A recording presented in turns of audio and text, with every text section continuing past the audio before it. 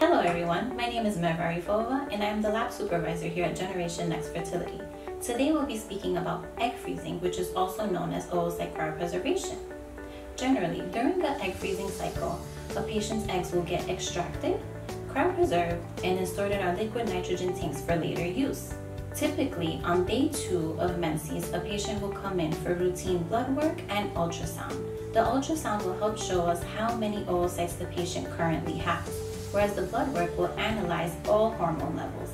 These combined results will help aid the doctor in prescribing the proper dosage of medication for ovarian stimulation. After a period of time, the patient will come in for egg retrieval day.